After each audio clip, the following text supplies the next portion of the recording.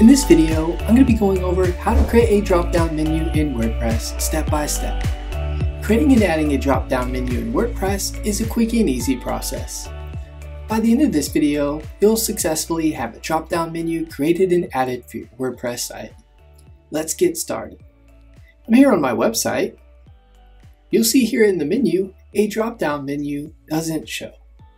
To start, from the WordPress dashboard, you want to start by hovering over the Appearance tab in the left side menu.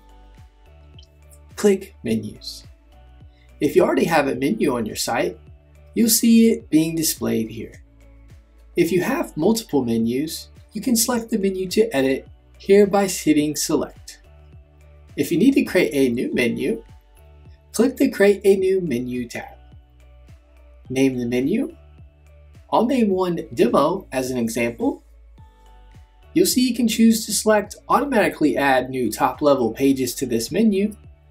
You can also select if you want the menu to be your primary menu, footer menu, or secondary menu. Click the Create Menu button to create your menu.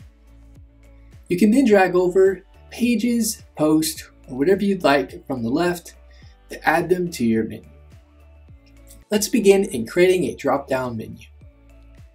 From the left, where you can add in pages, post, and more to your menu, select what you want to be the dropdown. For example, I'll select sample page. I'll click add to menu to add it to the menu. You'll see it'll bring it down on the bottom of the menu. Next, you want to drag it up to be under where you want the drop down to show and slide it over to the right just like shown here. It'll then say sub item next to the name. You'll see I added mine under services. This will add it as a drop down menu. I'll go ahead and select the sample page again. I'll click add to menu. I'll add it one more time. I'll now drag up sample page up to be under, just like shown here, to add it as a drop down menu.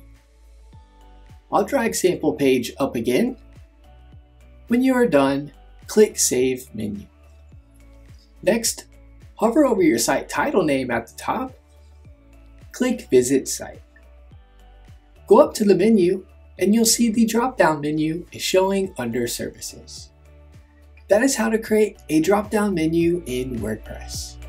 You should now have a drop-down menu added for your WordPress site Give this video a thumbs up and leave us a comment letting us know if the tutorial was helpful or not, as the comments help improve our tutorials. Be sure to subscribe to our channel for more WordPress tutorial videos.